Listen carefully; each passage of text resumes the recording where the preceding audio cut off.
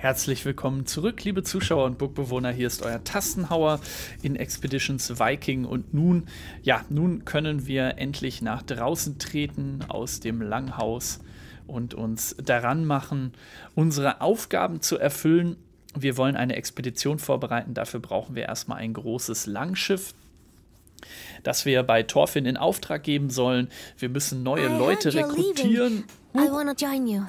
Die Hexenschülerin spricht dich vor deinem Lang Langhaus an. Roskva ist wieder da. Ich habe gehört, du gehst fort. Ich möchte mitkommen. Ähm. Grundsätzlich cool, aber warum willst du uns denn begleiten? Sie kratzt sich am Handgelenk. Ähm, brauche ich dafür einen Grund?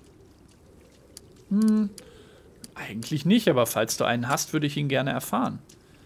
Ich muss einfach mal raus, weißt du? Okay. Ich verdanke Hulda viel, aber sie hat mir bereits alles beigebracht, was sie weiß. Aber das reicht mir noch nicht. Ich möchte in die große, weite Welt hinaus. Ja gut, aber ich sagte schon mal jetzt, die Reise wird gefährlich, du wirst deinen Teil leisten müssen. Nun, meinst du nicht, dass unter Umständen die Möglichkeit besteht, dass sich der ein oder andere vielleicht die ein oder andere Verletzung zuzieht auf dieser gefährlichen Reise? Kräuter sind nicht nur dazu da, Leuten zu schaden, weißt du? Also hat Hulda dich zur Heilerin ausgebildet? Das ist doch selbstverständlich. Das ist, was Hexen tun. Ist dir das nicht klar? Ja, sicher. Dann bin ich natürlich froh, dich dabei zu haben. Klasse. Sie lächelt und diesmal ist es ein ehrliches Lächeln mit Zähnen und so. Danke. Ich werde jemanden finden, der sich so lange um Hulda kümmert. Ja, das klingt nach einer guten Idee. Die können wir natürlich jetzt nicht alleine lassen. Asleifs offensichtliches Missfallen äußert sich in einem verärgerten Knurren. Du erlaubst der Giftmischerin, sich uns anzuschließen?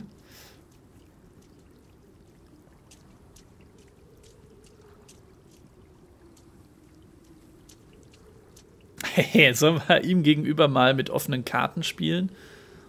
Oder nein, ich glaube, wir, wir bleiben jetzt mal auf der Autoritätsroute. Ja, und ich höre keinen Einspruch dagegen. Er wirft der jungen Hexe einen finsteren Blick zu. Wegen ihrer Lügen musste ich eine ganze Nacht frierend auf dem Abort verbringen. Roskva senkt den Blick, ihre Stimme wird kleinlaut. Weißt du, ich hätte dir auch was wesentlich Schlimmeres verpassen können. Der Krieger starrt sie wutentbrannt an. okay, Roskva hat sich uns jetzt auch noch angeschlossen, sehr schön. Und ich glaube, wir werden jetzt auch... Kitilve ist hier übrigens, dreckigen Ungeheuer. Ja, in der Tat. Wir werden jetzt mal mit Gunnar sprechen und ihn auf jeden Fall schon mal für uns rekrutieren, wenn es möglich ist. Gunnar ist noch dort, wo du ihn verlassen hast. Eine Sau schnüffelt neugierig an seiner Hose. Schön, dich wiederzusehen. Weißt du schon, was du mit mir vorhast?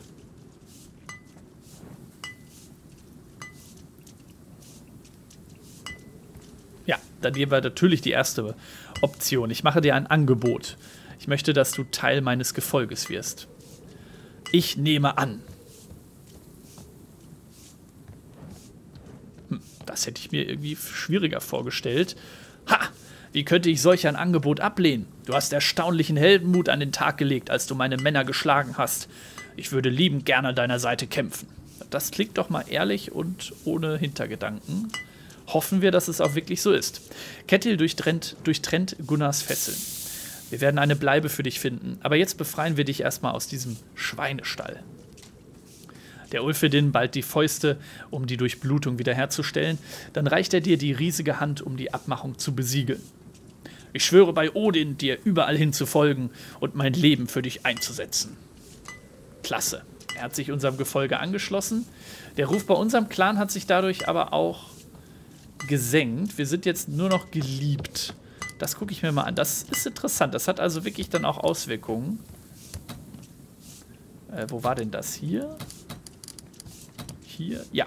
Wir waren eigentlich schon bei 80, jetzt sind wir bei 75. Aber ich denke, das müssen wir in Kauf nehmen, weil wir brauchen jede Verstärkung auf unserer Reise, die wir kriegen können. Ja, wir sehen auch hier, ähm, dass der gute Gunnar hier unterwegs ist mit einer Bartaxt und einer Werkeaxt und dann noch eine Dänenaxt als äh, zweite Variante dabei hat, die schlechter ist als die Hacke, glaube ich. Also die Hacke ist schlechter als diese Axt natürlich. Ja, definitiv. Ansonsten, ja, ist das alles, was wir bei ihm erstmal sehen können. Dann haben wir hier Roskva. Sie besitzt einen moralerhöhenden Talisman. Das ist auf jeden Fall cool. Sie hat eine Hanfschleuder dabei mit 5 bis 8 Schaden. Auch ein Kurzsachs. Und sie ist natürlich eine Heilerin. Das haben wir vorhin schon gehört. Dementsprechend können wir mal gucken. Ihre Heilfertigkeit ist bei 2 von 5. Die ist übrigens im Kampf nachher ganz, ganz wichtig hier, dass wir dort immer wieder mal Trefferpunkte auch zwischendurch heilen können bei unseren Charakteren. Mit ihr müssen wir ganz besonders vorsichtig umgehen. Sie wäre, glaube ich, auch eine Kandidatin für unauffällig, dass äh, die Feinde sie mit weniger Wahrscheinlichkeit angreifen. Aber. Ach, das hat sie schon. Ach, das hat sie schon. Guckt mal, sie hat Entgehen. Sie ist also gegen Fernkämpfe etwas besser geschützt und sie ist unauffällig. Perfekt. Was hat er denn hier? Er hat blutdürstig, nach jeder Tötung eine Runde lang plus 10% Schaden.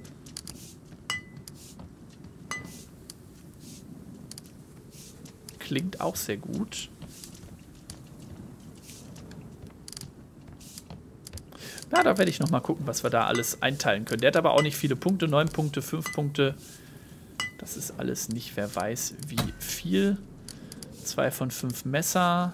Dann Schleuder hat sie nicht genug Punkte für. Dann sparen wir darauf mal etwas. Er hat zwei Punkte bei Axt, einen Punkt bei Dänenaxt. Das ist auch erstmal okay. Und er hat schon Sturmangriff. Die ist auf jeden Fall für so einen Berserker wichtig. Das hatte ich auch schon ähm, nachrecherchiert. Denn äh, durch jedes Hexfeld, das er sich durchbewegt, sammelt er plus 5 Schaden an, äh, bevor er das Ziel angreift. Also wenn er quasi im Sturmangriff auf das Ziel losgeht, dann ist er besonders, ähm, ja, sind seine Schläge besonders brutal. Okay. Gut, schauen wir mal. Hat äh, Queldof hier noch was zu erzählen? Nee. Ich werde jetzt mal gucken, wo war denn nochmal... Äh, wo war denn nochmal hier Nefjas Kettelsheim? Hier ist die Grabstätte. Der Übungsring Eideshof ist hier unten. Die wollten wir ja auch nochmal ansprechen. Und hier ist die Hexenhütte.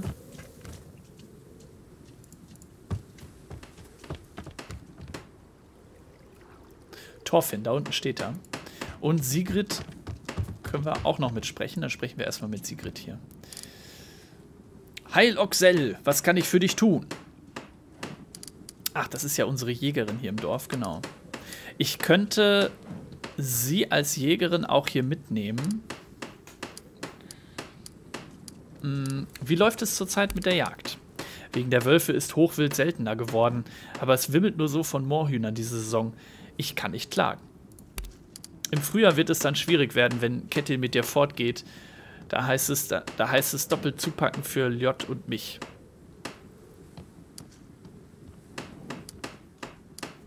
Tja, kann ich irgendwas für euch tun, um euch die Arbeit zu erleichtern?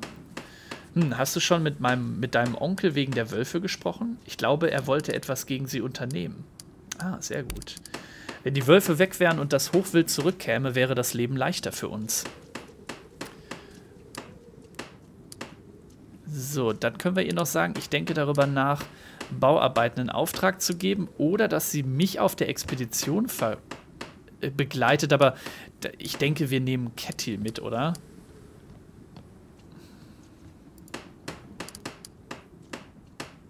Oder?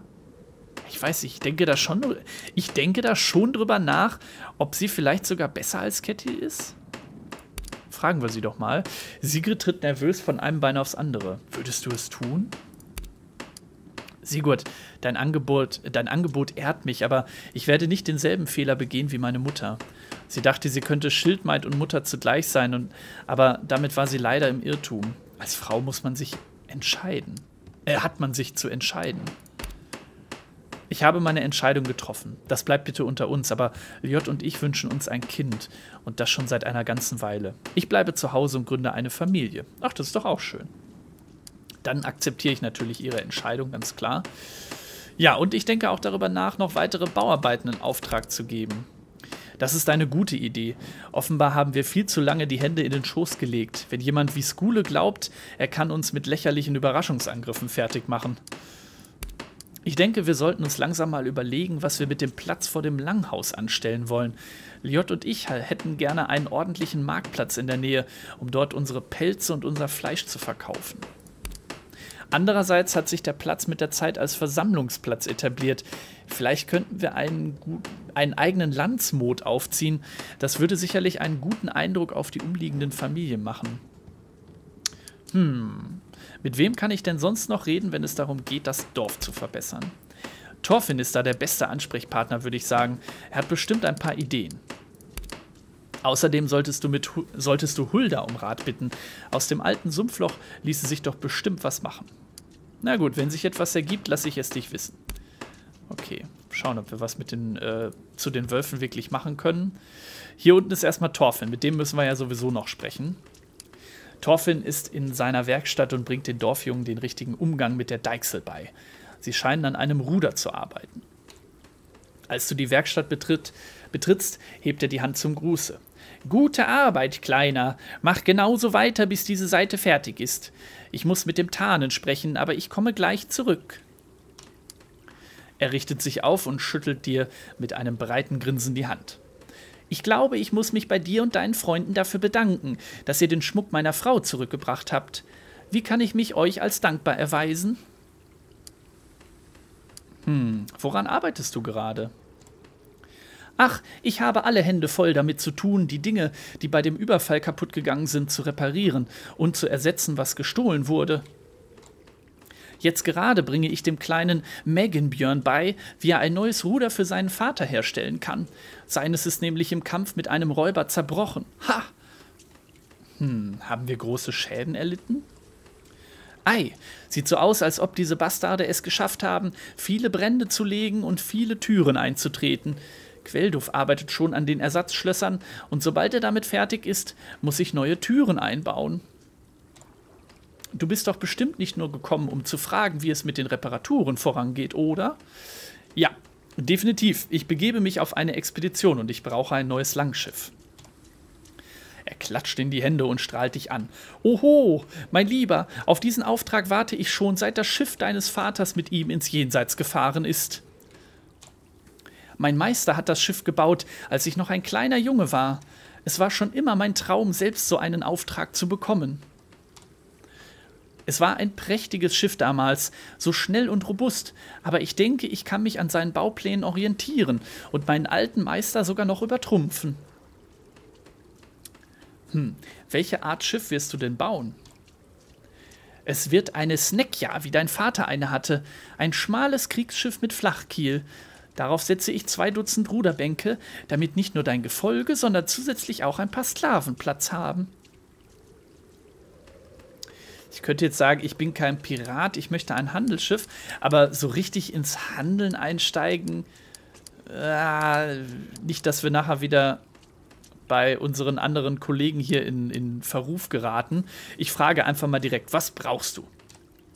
Gut, Holz. Vor allem Holz. Du musst einen Baum auswählen, den ich für den Kiel, die Steven und den Rumpf verwenden werde. In unserem Wald hier in der Nähe gibt es reichlich große alte Bäume, die sich alle hervorragend für den Schiffsbau eignen. Ja, das ist ja eine glückliche Fügung.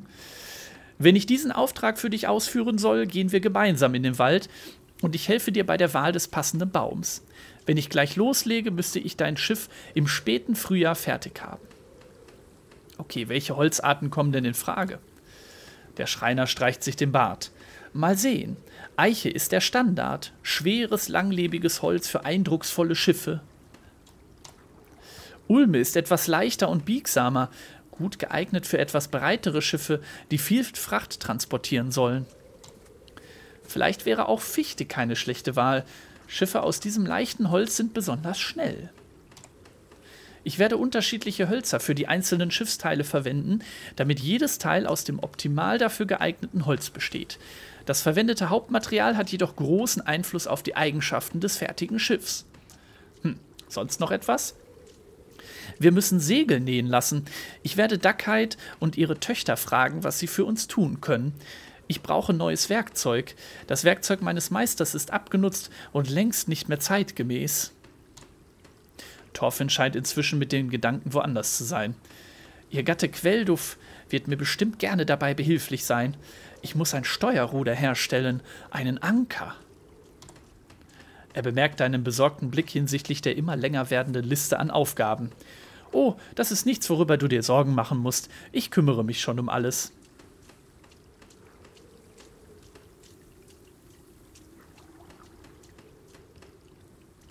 Ja, ich würde sagen, ja, bei den Nachbarn Eindruck schinden, das ist auch lieb und nett. Aber ja, ich glaube, das klingt erstmal alles ganz gut. Ich bin schon gespannt darauf, euer Können zu erleben. Wir treffen uns im Wald am Haus deines Onkels, wenn du Zeit hast. Dann wählen wir das Holz aus und fangen an.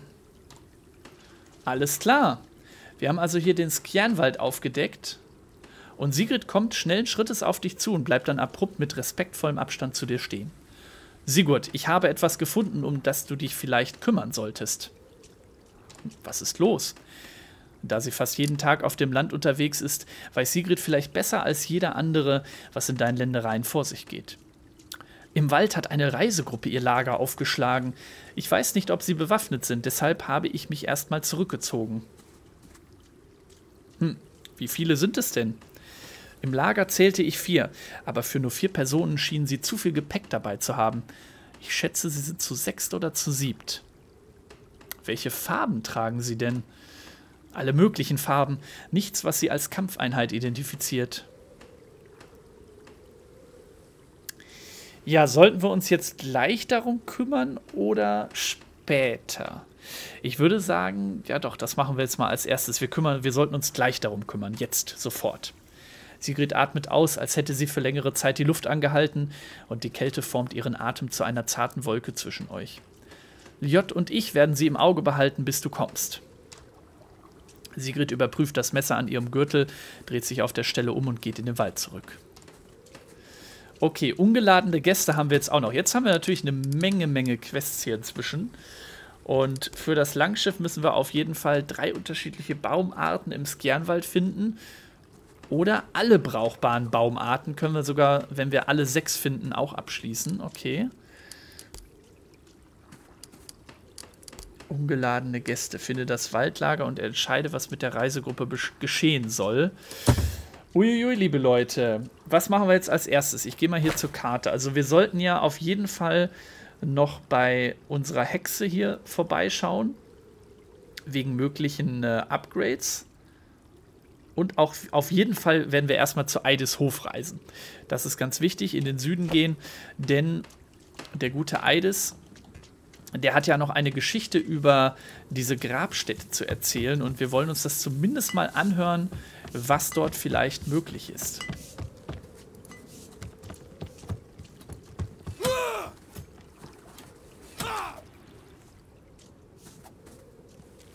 Wer ist denn hier Kloppen? Torquil, was macht er denn da? Kämpft gegen ein Kind? Huch, was ist denn hier los? Übungskämpfe? Fragen wir doch mal nach. Ein Grüppchen junger Männer und Frauen von den umliegenden Bauernhöfen üben in Alwards, in, in Alwalds altem Übungsring. Okay, wir gucken uns das mal ein bisschen an. Ihr Eifer ist wunderbar, doch ihre Technik lässt noch sehr zu wünschen übrig. Dein Gefolge könnte ihnen gewiss das ein oder andere beibringen. Hm, darf ich mitmachen? Der Krieg wird unterbrochen. Also die Kämpfe werden unterbrochen und alle Blicke sind auf dich gerichtet. Der Älteste, den du als Eides jüngsten Sohn identifiziert, antwortet. Es wäre uns eine Ehre. Das jüngste der Kinder, ein Mädchen aus einer der entlegensten Gegenden deiner Skipreda, hüpft beinahe vor Aufregung. Das ist die gute Biatei. Biatei. Oh ja, das Gefolge des Tane gegen den Rest von uns. Ach, jetzt dürfen wir kämpfen gegen sie. So, und hier sind durchaus einige gar nicht mal so ungefährliche, denke ich mir. Das sind aber alles ungeschulte Schützen und Kämpfer, aber trotzdem, die Menge, die macht es natürlich hier schon. Wir können jetzt uns in Position bringen. Tja, ich denke Gunnar. Was macht der Gunnar am besten? Der geht erstmal hier hinter die Steine und guckt, ob er gleich hier die Leute binden kann, vielleicht sogar. Oder er bleibt erstmal hier stehen und hat wenigstens halbe Deckung gegenüber den Schützen. Das wäre vielleicht auch nicht so schlecht, dass er nachher hier runter preschen kann. Wobei die anderen ja auch jetzt in die Richtung laufen, ne? Hm. Schicke ihn jetzt erstmal hier hin, mal gucken. Ist alles so ein bisschen Ausprobiererei am Anfang. Ähm, ja, der Bogenschütze. Mist, Aslife steht hier ganz ungünstig. Also wir müssen die Leute hier anders positionieren. Unser Bogenschütze... Tja... Soll erstmal hier hingehen. In Deckung. Und Aslife, der wird sich hier vor den Bogenschützen stellen. Ebenfalls in Deckung. Ich denke, hier sollte Sigurd eigentlich ganz gut mit klarkommen. Nefja kann hier aus dem Hintergrund zuschlagen. Und die Heilerin Roskva, die muss auf jeden Fall auch noch irgendwie geschützt bleiben. Ich glaube, die lassen wir hier so stehen, oder?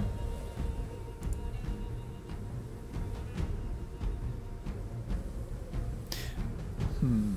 Oder wir bringen Nefja... Ach, hier können wir gar nicht hin. Hier ist ein Blockfeld, ein geblocktes Feld.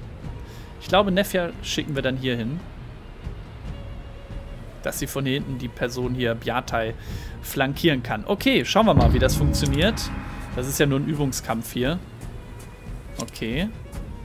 Aha, da wird jetzt auf unser Berserker eingehauen. Der ist leider benommen direkt. Und deren Berserker geht mit Sturmangriff hier mit 50 Schaden auf Nefja. So, das haben wir abgewehrt. Das ist gut. Jetzt kommt ein Schuss, der aber verfehlt hat und Nefja geplagt hat. Und ein Schuss aus weiterer Entfernung, der ebenfalls verfehlt hat. So, dann nochmal. Nefja muss hier Schaden einstecken bis zum geht nicht mehr. Und noch ein Schütze hier. Ein kleines Kind verfehlt ebenfalls. Alles gut. In Ordnung. So, Sigurd, was machen wir mit den Einheiten? Ich würde sagen, ähm, unsere Heilerin wird auf jeden Fall Nefja heilen. Ach so, löst einen Gelegenheitsangriff aus. Was?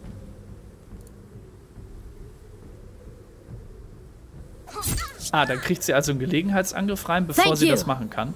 Na gut, aber egal. Sie hat wenigstens Nefja hier gerettet schon mal. Das darf sie also dreimal insgesamt machen. Staub. Die Gesichter, der sich auf den drei Hexfeldern vor dem Anwender befindet, verleiht den Effekt unter Drogeneinfluss. Geschicklichkeit und Wahrnehmung.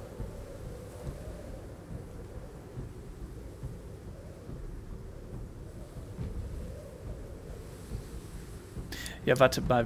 Äh, was? Vor dem Anwender. Das will ich aber nicht. Das würde ja unsere eigenen Leute auch treffen, ne?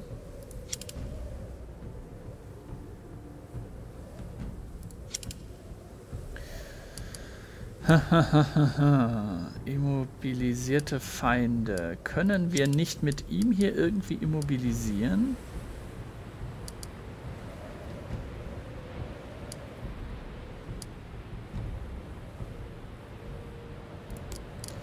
Ich glaube ja, ne? Versuchen wir das mal, dass wir das Lähmen aktivieren. Jawohl, hat funktioniert.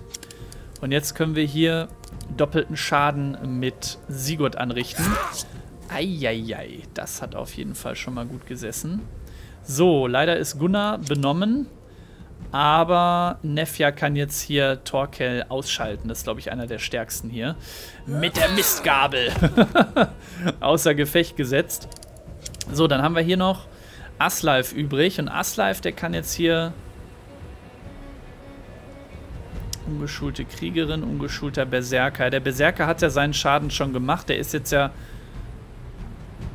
wie ich finde, nicht mehr der, der allerproblematischste Charakter hier.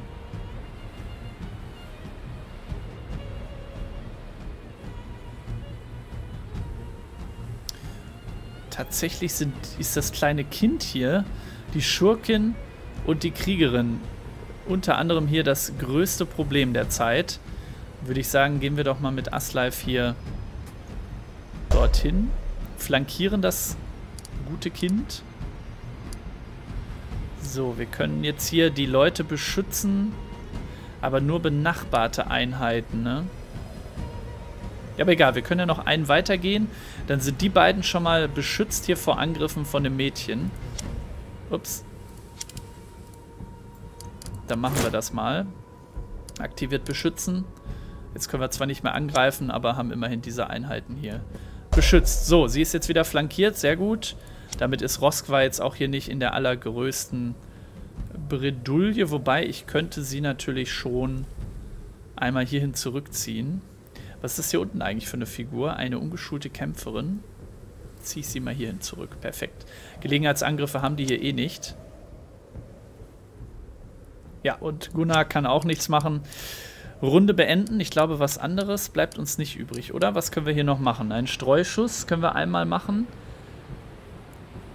Kann keine niedrige Deckung nutzen gegen diese Gegner hier. Das ist zwar nett, aber bringt mir ja nur eine Runde lang was, ne?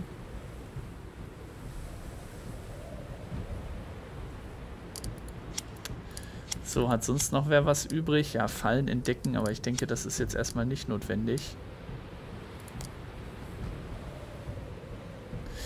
Ja. Machen wir das mal, dass hier sich niemand verstecken kann mit dem Streuschuss. Dann ist seine Deckung schon mal weg. Er ist entdeckt und hat hier keine Möglichkeit mehr, sich zu schützen in der nächsten Runde. Gut, das war's. Runde beenden. Aha, diesmal hat unser Berserker der Betäubung widerstanden. Sehr gut. So, sie darf sich auch nicht hinter der Deckung verstecken. Perfekt. Kann aber Nefja wieder schlagen. Und die Schurkin zieht sich zurück. Der Berserker haut wieder Nefja. Die versuchen immer auf Nefja zu gehen. Sehr interessant. So, da oben die Deckung kann auch genutzt werden. Und er hat sich jetzt zurückgezogen. Gut. In Ordnung.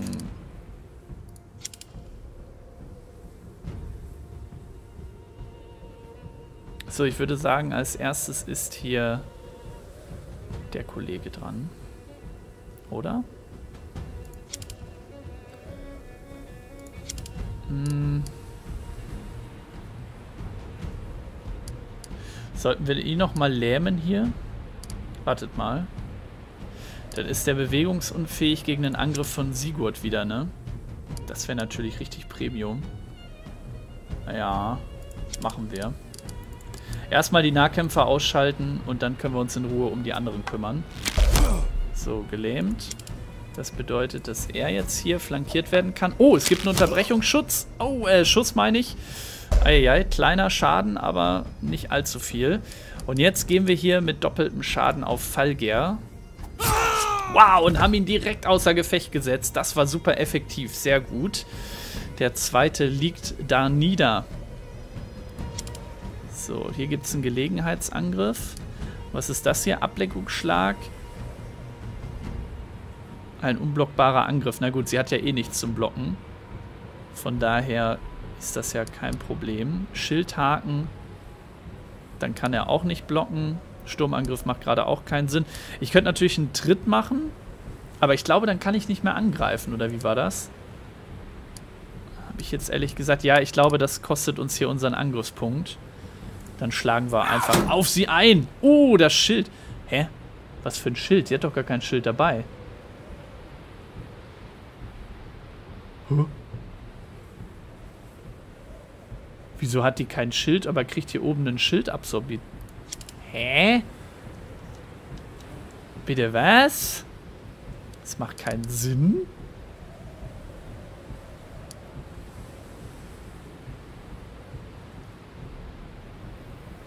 Hm. Okay, das macht wirklich keinen Sinn. Na gut. Nochmal Nefja heilen, bitte. Great, thanks. Diesmal gibt es auch keinen Gelegenheitsangriff, weil niemand in der Nähe ist. Sehr gut. So, Nefja wurde geheilt. Ja, dann würde ich sagen, Nefja drauf mit der Forke. Aua. so. Verzeihung. Da musste ich einmal kurz niesen. So, Gunnar kann auch nichts mehr machen. Wieder kann keiner was machen, außer Aslife. Ja, dann... Ach Mist, dann kann er wieder nicht angreifen hier. Ja gut, dann gehst du nach hier unten und greifst diese Schurkin an. Und teilst dort schon mal ein bisschen Schaden aus. Sehr gut. So. So, er hat hier auch alles verbraucht. Er im Prinzip auch. Er steht hier zwar noch offen. Könnte sich jetzt in Schutz begeben. Ja, Nefja würde hier den Gelegenheitsangriff auslösen. Das wäre auch nicht sinnvoll. Ich stelle unsere Heilerin mal hier hin. Ha! Völlig in den Schutz vor dem Bogenschützen. Das ist, glaube ich, das Beste, was wir machen können. Gut, Runde beenden. Der Feind darf wieder ran. Ah, und er kriegt den Treffer auf Gunnar. Gut, der Treffer war jetzt auch nicht viel. Taktische Bewegung, auf Wiedersehen. Sie zieht sich zurück und wird jetzt geheilt. Aber ja, gut, ihr Schild ist trotzdem nicht wiederhergestellt. Vielleicht macht sie das noch. Wie auch immer sie ohne Schildabbildung ein Schild haben kann. I have no idea. Gut, ähm, Gunnar hat jetzt schon ein bisschen was eingesteckt, kommt hier wieder nicht weg. Ich würde sagen, dann nehmen wir jetzt mal die Finte hier. So, wie funktioniert das? Bewege dich auf die andere Seite des Ziels und sorge dafür, dass das Ziel seinen Gelegenheitsangriff verbraucht. Äh, wenn ich hierhin klicke oder wie läuft das? Ja. Aha, Finte. Gelegenheitsangriff wurde verbraucht. Sehr gut. Und jetzt kann er nämlich hier frei weg von dem Ziel. So, dann probieren wir mal, dass wir sie betäuben. Und dann gehen wir mit ihm auf den Sturmangriff hier drauf. Ja, leider geht das nicht anders. Ne? Ich kann jetzt nicht weiterlaufen, um mehr Schaden zu machen. Aber vielleicht reicht das ja schon für Byatai. Sturmangriff! Jawohl! Die arme Kleine wird außer Gefecht gesetzt. Gunnar kennt keine Gnade. Selbst nicht mit Kindern. Na gut, okay. So, was haben wir denn jetzt noch? Sigurd ist noch da. Ich würde sagen, Sigurd sorgt erstmal für einen Flankierungsbonus hier. Oh, da wird nochmal unterbrochen. Aber wir können das Ganze ablenken. Sehr schön. Jetzt ist sie flankiert. Können wir hier... Ne, können wir ja nicht machen. Wir können uns wappnen, das brauchen wir aber auch nicht. Was ich noch gar nicht gemacht habe, Türs Gunst für Schadensreduktion. Habe ich jetzt gar nicht drauf geachtet. Aber ich glaube, wir brauchen das gar nicht, wisst ihr das? Zack, auf Gerd einschlagen und bitte dann auch hier ausschalten mit einem Schuss vom Bogen. Kettil kann das hier problemlos abschließen. Ja, damit sind vier Gegner ausgeschaltet. Bleibt nicht mehr viel übrig. Was die Gegner hier noch tun können, ist dann wirklich nicht mehr viel. Ich würde sagen, Sigurd marschiert hier hin, damit Nefja hier ein bisschen geschützt ist und geschützt wird. So, dann Aslife, du bewegst dich auch hier hin. So, Nefja geht mal genau hier hinter. Perfekt. Und Ja, mit Gunnar marschieren wir hier noch ein Stück nach vorne. So, der hat jetzt übrigens hier einen Modifikator, blutdürstig, weil er hier äh, so eine passive Fähigkeit hat. Das ist auch sehr schön. So, du bleibst, glaube ich, erstmal hier stehen, oder? Du hast ja ein Messer dabei. Giftattacke. Ach so, ich könnte dem Ziel Giftschaden geben, damit die Einheit mit Giftschaden nachher hier rein kann. Vielleicht sollten wir das mal machen. Was ist das? Demoralisieren.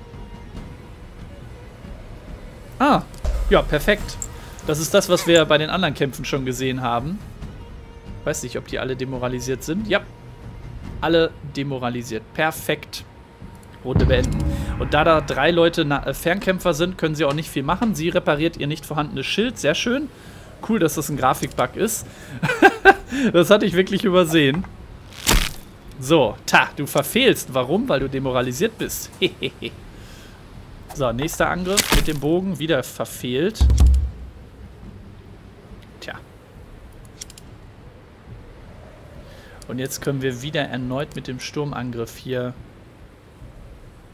maximalen Schaden durchführen, aber sicherheitshalber nicht auf die Schildträgerin, sondern auf die Bogenschützin Sinn. Agnas dort hier. Bam! also, Berserker sind schon ganz schön tough. Da ist die erste Bogenschützin aus dem Rückraum schon ausgeschaltet. Ähm ja, Kettil kann niemanden treffen. Doch, Grankel. Dann versuchen wir mal Grankel hier abzuschießen mit Kettil. Uh, jawoll! Bogenschütze gegen Bogenschütze. Hm. Wie wäre es hiermit? Ah, hiermit ist besser. so. Und Nefja stellt sich hier mal auf die gegenüberliegende Seite. Entweder kann Nefja jetzt hier den Kill abstauben oder vielleicht sogar Grankel. Aber ich denke, wir lassen... Äh, Roskva meine ich. Ja, Roskva kriegt sogar schon hin. Perfekt.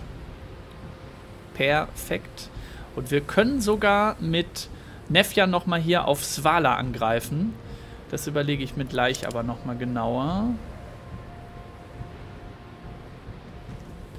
Kann ich hier eigentlich... Ja, nee, kann ich nicht. Dann läuft er sofort los. Ich wollte gerade zwei Dinger verketten. Zwei Movements, zwei Bewegungen, aber das hat nicht geklappt. Gut, wissen wir, dass STRG schon mal nicht die richtige Tastenkombination dafür ist. Ähm, ja, ab Sigurd hier in den direkten Kontakt mit der Schwertkämpferin. Zuhauen können wir leider nicht mehr. Er hat seine Sachen aufverbraucht. Nefja hat noch ihren Schlag übrig. Ich fürchte, es wird wieder geblockt durch das Schild, das nicht sichtbar ist. Ja, tatsächlich. Gut, dann können wir jetzt die Runde beenden. Ein Bogenschütze noch und die Schildkämpferin. Das ist alles. Ne, das können wir schon mal abblocken. Immerhin 12 Schaden wieder auf Gunnar, aber das wird er wohl überleben. Der gute Gunnar.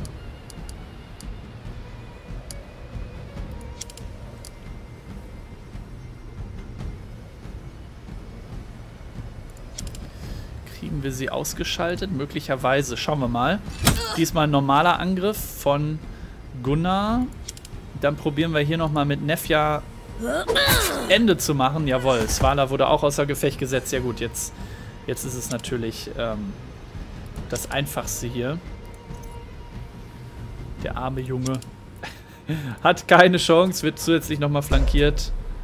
Und damit war es das für dich. Peaks. So ist das. Ohne Erfahrung, keine Chance gegen uns. Das ist auch mal ganz nett und ganz erbaulich, dass man hier so einen ganz einfachen Sieg abstauben kann. Aber das war natürlich jetzt keine Herausforderung, weil sie unausgebildet waren.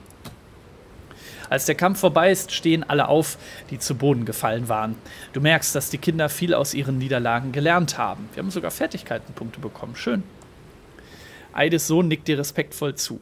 Ihre Söhne hatten immer schon gute Manieren. Ich danke für den Kampf, Sigurd. Wollen wir noch einmal kämpfen? Nee, ich glaube, einmal reicht. Das muss eine Lektion sein, die reicht. Ich muss mich noch um andere Dinge kümmern. Die Kinder steigen zurück in den Ring und üben weiter. Hier trainiert immer irgendjemand. Du kannst jederzeit herkommen, wenn du in sicherer Umgebung etwas Neues ausprobieren möchtest. Ah, cool. Das ist doch ganz nett. Kampfbereitschaft abgeschlossen. Ah, haben wir einen Übungskampf durchgeführt. Sehr schön. Ja, das musste jetzt auch mal sein. Haben wir hier einen Übungskampf abgeschlossen. Und ich sehe schon eine wirklich wieder sehr, sehr lange Folge. Ähm, es ist in dieser Staffel noch nicht allzu viel passiert. Seht es mir bitte nach. Ähm, es gibt viel zu tun, jetzt gerade zu Anfang hier. Und das nächste, was wir machen werden, ist auf jeden Fall hier mit Eidis über dieses Grabmal aus ihren alten Erzählungen zu sprechen und dann auch das Langschiff, äh, den Bau des Langschiffs vorzubereiten, nach den Gästen zu schauen. Ach ja, es gibt so viel zu tun, aber das dann in der nächsten Staffel. Liebe Leute, ich bedanke mich fürs Zuschauen. Wie immer, wenn es euch gefallen hat, lasst gerne einen Daumen nach oben da. Das würde mich sehr, sehr freuen. Bis, bis zum nächsten Mal. Macht's gut, euer Tastnauer sagt. Ciao, ciao.